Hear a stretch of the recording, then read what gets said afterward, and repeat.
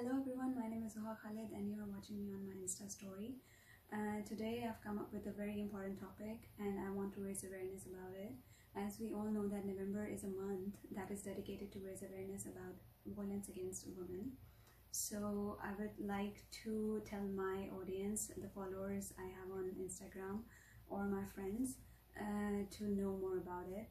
So uh, the point or the um, part of it that I want to emphasize on is the intimate partner violence, uh, especially in the community of immigrants.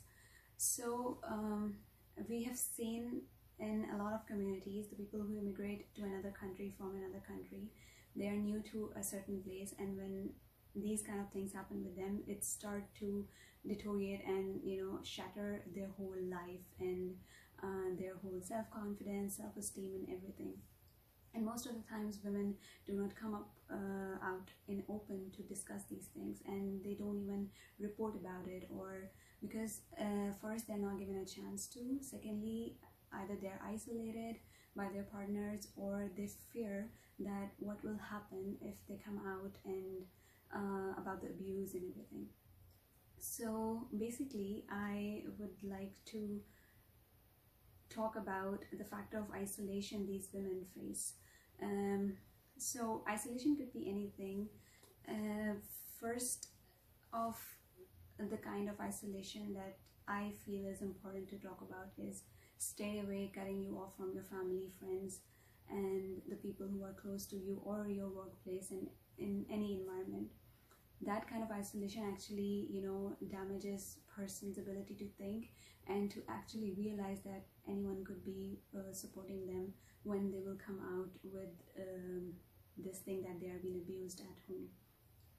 And second kind of isolation could be uh, what I have read in different uh, stories and different experiences shared with, by the women who have actually faced it is that uh, your abuser kind of start to spread rumors about you in your friends in your family.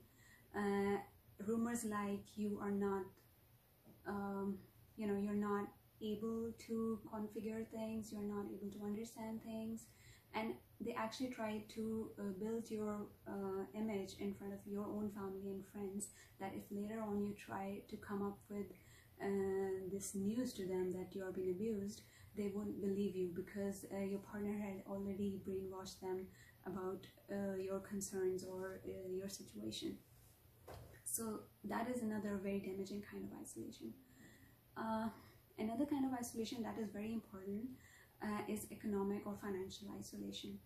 Uh, the statistics or the research papers and everything that I've read about and a very common factor that they have um, touched upon is the fact that your abuser tried to isolate you or you know try to force you to give up your financial independence.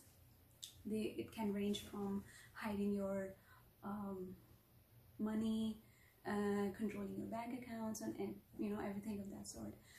So you are new in a country and you don't know much about that new place let alone your financial independence is also compromised. So in that situation uh, a victim never comes out because they are totally and financially dependent on their abuser. So these kind of statistics these kind of stories are really alarming and we really need to you know raise awareness about such issues. The list is so long that if I start talking about it, it will take me like, you know, days and days to explain about such things. I'm still studying about it and I'm actually also um, associated with um, one train uh, training program that is actually, um, you know, training me in terms of gathering resources uh, for the women who went through abuse and through education kind of support them and help them in their situation and coming out of that abusive relationship and uh, violent relationship. So i'm trying to be as much productive and as much helpful to those who go through these kind of situation as i can. I'm also volunteering in this field and i think that uh, in whatever capacity we can we should help such people I don't really like the word of victim to use about me because there are people just like us. They're women just like me or you. And their situation is not something that should define them.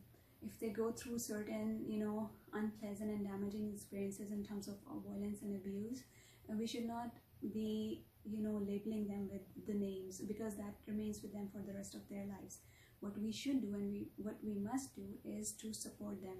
And i'm not asking you big.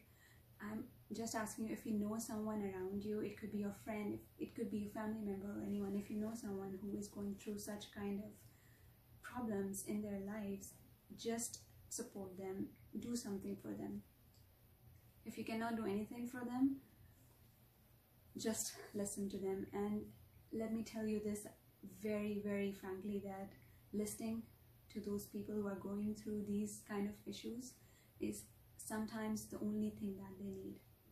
Because they've been shut down they've been isolated by the outer world they've been shut down by the family they've been shut down with the only person they thought that would be their savior their spouse because women have this mentality that you know he is my superman or something like that.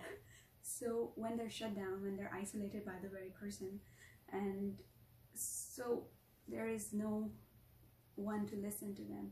And if you can put forward your support in terms of in a way that you can just go and listen to them it makes a huge difference. So next time when you see someone going through that problem just go and listen to them